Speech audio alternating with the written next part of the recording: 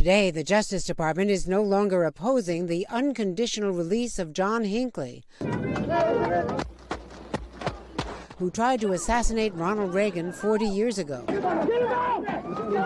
At the time, the White House kept secret that the president nearly died, the bullet barely missing his heart. A jury had ruled Hinckley, then 25, not guilty by reason of insanity, but ordered him confined to a mental hospital for life. Hinckley also wounded two officers and paralyzed former White House press secretary Jim Brady, who died in 2014. A medical examiner ruled Brady's death a homicide. A D.C. judge ruling that Hinckley, now 66, has displayed no signs of mental illness after spending years in psychiatric confinement and finally living under court supervision with his parents in Williamsburg, Virginia. His surviving parent, his mother, died in July. Why do you want me to go back to my parents? I mean, they hate me. Hinckley had confessed to shooting Reagan to impress actress Jodie Foster, whom he had been obsessed with since seeing her in Taxi Driver. His lawyer calling the decision a win for mental health care. People who are ravaged by mental disease, with proper support, with good treatment, can achieve mental stability and become productive members of the society.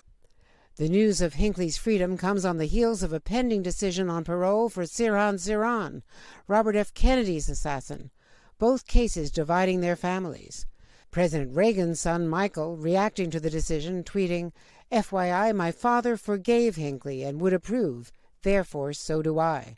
But his daughter, Patti Davis, writing in the Washington Post, I will always picture Hinckley's cold eyes. And telling CNN When somebody tries to assassinate a president or assassinates a public figure or a presidential candidate, they affect the entire country.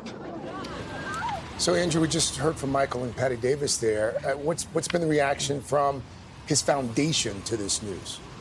Well, Craig, the foundation issued a statement saying that they believe that Hinckley is, quote, still a threat to others. And if you take a shot at the President of the United States, you should not see the outside of prison walls, period.